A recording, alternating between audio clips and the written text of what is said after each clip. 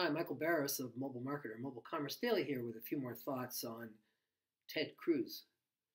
Well, if you're a political candidate, one of your main goals is raising money. And on that note, Ted Cruz turned to SMS messaging as he kicked off his 2016 run for president. Mr. Cruz's call to action to supporters to text the words Constitution or Imagine to a numbered code reflects politicians' growing awareness of the need to connect with audiences on mobile.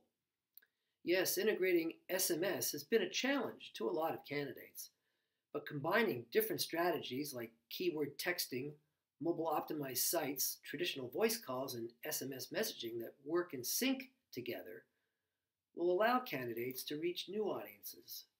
For Mobile Marketer, Mobile Commerce Daily, I'm Michael Barris. Thanks for watching.